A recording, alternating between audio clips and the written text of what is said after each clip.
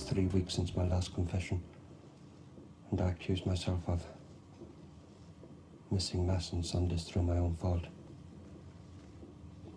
taking God's holy name in vain, being disobedient, being proud, coveting my neighbour's goods. That is all I can remember, Father. Is there anything else you wish to confess, my son? The gaze of the young men in the early films, and that voice appears somehow in your new film, Time and the City. Probably the most angry moment in the piece is when you talk about the parks of Liverpool and how men, just for a wink and a nod, thrown in jail when far worse crimes were happening in the rest of the city. And then you remember that young boy who, very explicitly in the, in the trilogy, gazes at his male relatives, at other boys in the street, with a sexual longing that he doesn't quite know how to express. Talk to me about that evolution.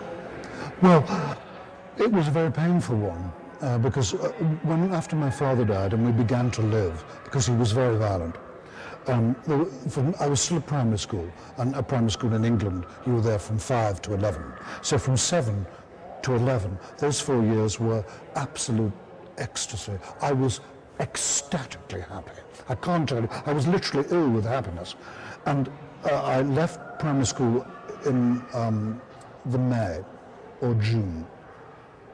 And that summer was a, a warm one. It was warm. And I didn't go to the pictures this particular uh, day. And um, I was looking out of the back of the house, and these bricklayers were um, building a wall with just their jeans on. And I suddenly knew that I shouldn't look at someone like that. And my, my happiness, my childhood was over like that in an instant. It was gone. And I really believed I was a devout Catholic. And then I went up to uh, secondary school, and like all those, like children are feral, they, they smell difference. And these four lads saw their victim, and they beat me up for e- every day for four years, you know, and I didn't tell a soul. Um, and it beats any kind of self-esteem out of you. You feel utterly despised. When your psyche is forged through that, knowing that you're despised on a daily basis, and that you know you, you're feeling, whatever this feeling is, I didn't know what it was, was wrong. I then became even more devout. I literally did pray to my knees bled, and no succour came. He never, God never, ever, ever responded. Um, it was probably out at Gap Kids, knowing my luck. Um, and then at 22, I realized it was all a lie. I just thought, it's just men in frocks. And I left. But of course, what you do when you've, for 17 years, you've believed.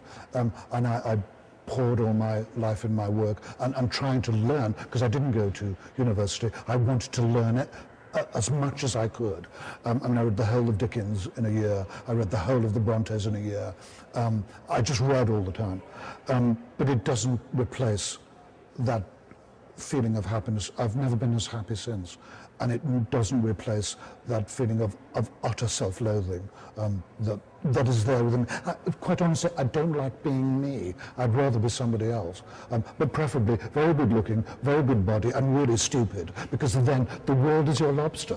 And heterosexual too, or Oh, absolutely. not care about that? Absolutely. Or perhaps bisexual. so you can have all the choices. Yes, the someone said to me, what's the, what's the definition of a bisexual? I said, someone who doesn't know which way to turn.